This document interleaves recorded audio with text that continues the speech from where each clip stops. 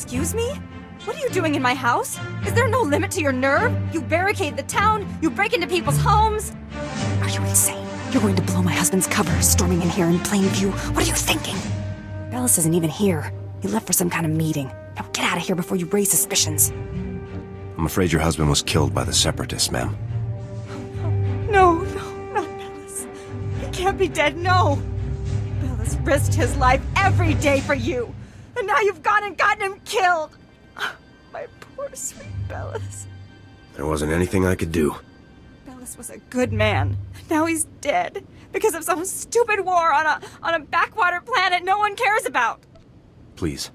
A lot of innocent lives are on the line. We need your husband's field box. Why should I give it to you? You got my husband killed. All of you. You killed him. Bellis was loyal to the Republic, ma'am. He would want you to help us. What he wanted was to make a living and keep a roof over our heads. You took advantage. You paid him to get himself killed. Your husband gave his life to bring us this information. If you don't help us now, his sacrifice will mean nothing. Don't feed me that garbage. You want the field box? Fine, it's over there. Take it. Take it and get out. Your husband was a true hero, ma'am. You have my deepest condolences. Please, just go. Oh, Bellis.